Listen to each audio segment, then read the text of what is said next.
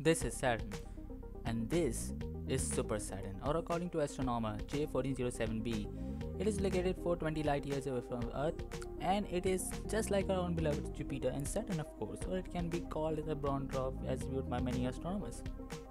Scientists have estimated the size of its ring using the unsteady and unusual light coming from its 52 days eclipse.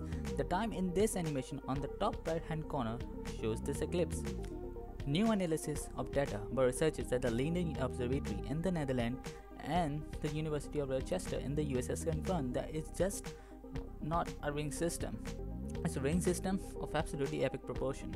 It is heavier and up 200 times larger than our own Saturn just because of a ring system containing 30 rings of different proportion and having a total diameter of 120 million kilometers.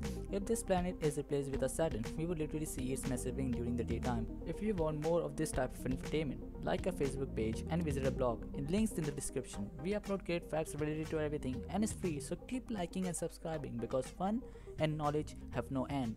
Thanks for watching.